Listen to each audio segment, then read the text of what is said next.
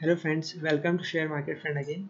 Uh, this episode is about investor awareness or about uh, knowledge based, not only the news based. Okay, so in this episode, I'm going to talk about FATCA or FATSA, what you call it is, or and CRS. What is what are those two things? Okay, basically, FATCA's full form is Foreign Account Tax Compliant Compliance Act and second CRS full form is Common Reporting Standards.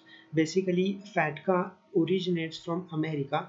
It was a law passed in 2010 in America which mandates uh, all American citizens or who, whoever are residing in other countries like NRI etc who has citizenship of America or related to America and also other financial institutions uh, originating in America who are doing business in other countries, it is mandated that they should uh, report their all information or earning related all financial data to American government.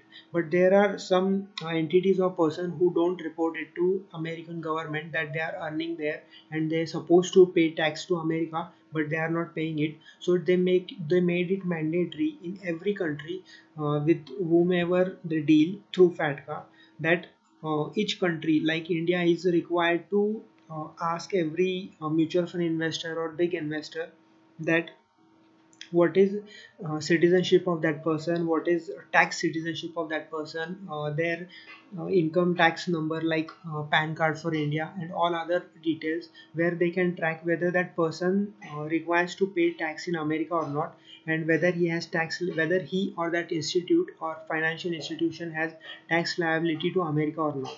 Through fatca they come to know that uh, that person requires to pay tax to america okay? So it has become now mandatory from 14 April and 2016 onwards to every person to uh, report all these things while doing investment in mutual fund and all other related big investments okay?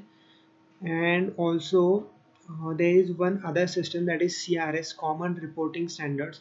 This system is same and it asks all mostly same details like uh, FATCA. But it is not for America. FATCA is mostly for America. It serves purpose of for purpose for tax avoiding tax evasion by American citizens but CRS serves the purpose for other countries. After FATCA other countries uh, implemented this FATCA like uh, FATCA like system through CRS that is common reporting standards uh, through OECD that is economic cooperation organization of various 50 to 90 countries it is.